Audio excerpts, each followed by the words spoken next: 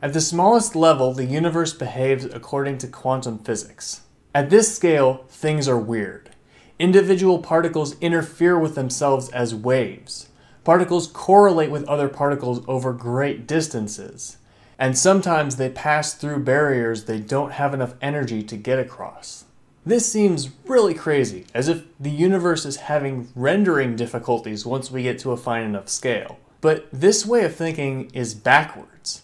As beauty is in the eyes of the beholder, so is weirdness. Quantum is how the universe really is.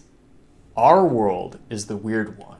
And today, we're going to see how math can make our world of endless variety out of a murky sea of quantum probability.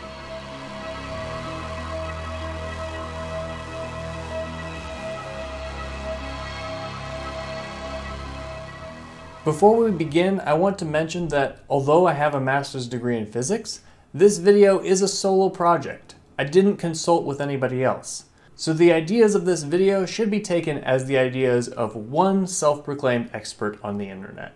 A hundred years after Isaac Newton, Pierre-Simon Laplace imagined a demon who could see the positions and velocities of every particle in the universe. With that knowledge, this demon could predict the entire past and future of everything that would ever happen. This reflected a shift in the scientific worldview from a universe governed by the will of nature and spirits to one of mechanical determinism. Later, the quantum revolution changed the paradigm again. Instead of being deterministic, particles at the smallest possible level behave according to probability. Laplace's demon could no longer predict the entire future and past unless all possible futures and pasts are taken into account. We've talked before about the possible realities underneath quantum physics, but today we're going to take it at face value. Particles travel as waves and interact with probabilities proportional to the amplitude of those waves at every point. The universe, according to quantum physics, is probabilistic.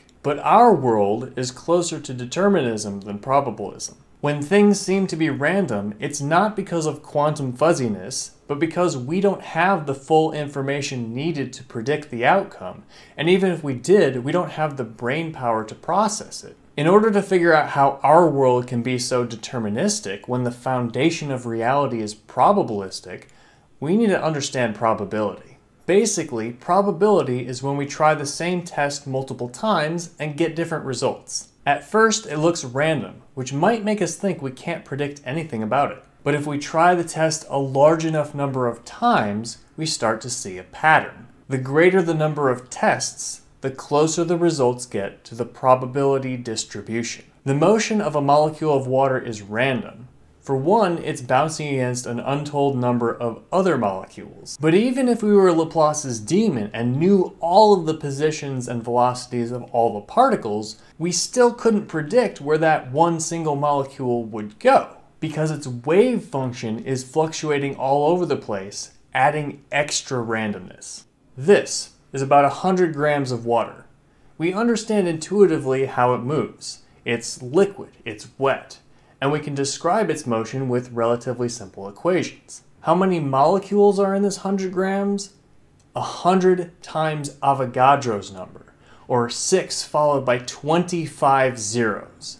That's more than the number of stars in the observable universe. When you have that many random events altogether, the behavior is so close to the predicted probability that there is essentially no deviation at all. The motions of the individual molecules do not get any easier to predict, but the substance as a whole does. This is an example of emergence, when the behavior of a composite or collective is simple in a different way than the behavior of its parts. When we apply statistics to the activity of quantum particles, we get matter, we get solids, liquids, and gases, we get light, we get temperature, we get electricity. Through large numbers and complexity, a deterministic world can emerge from a probabilistic world, and a probabilistic world can emerge from a deterministic world. We can even get an emergent world of agents with will who make choices. If you've ever heard someone say free will and determinism are compatible, they're talking about emergence. And that is how our world of matter and people and societies comes to be from a foundational substrate of quantum probability. Thanks for watching. I'll see you next time.